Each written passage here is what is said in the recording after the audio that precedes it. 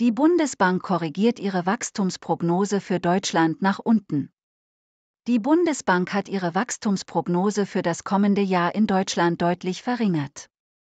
Für 2023 rechnet sie mit einer um 0,1 Prozent schrumpfenden Wirtschaftsleistung, BIP, wie die Bundesbank am Freitag in Frankfurt mitteilte.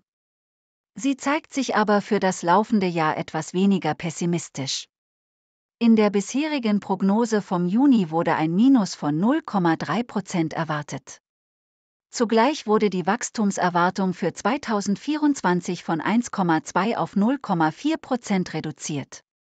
Die deutsche Wirtschaft erholt sich in den kommenden Jahren, teilte die Bundesbank mit. Denn mittelfristig rechnet sie wieder mit einem etwas stärkeren Wachstum von 1,2 Prozent im Jahr 2025 und 1,3 Prozent im Jahr 2026. Allerdings verzögere sich die Wirtschaftserholung etwas, heißt es mit Blick auf die kurzfristigen Aussichten. Gegenwärtig bremse vor allem die schwache Auslandsnachfrage. Zudem zeige sich der private Konsum zögerlich und die höheren Finanzierungskosten dämpften die Investitionen. Doch das Bild helle sich bald auf. Ab Beginn des Jahres 2024 dürfte die deutsche Wirtschaft wieder auf einen Expansionspfad einschwenken und nach und nach Fahrt aufnehmen, sagte Bundesbankpräsident Joachim Nagel.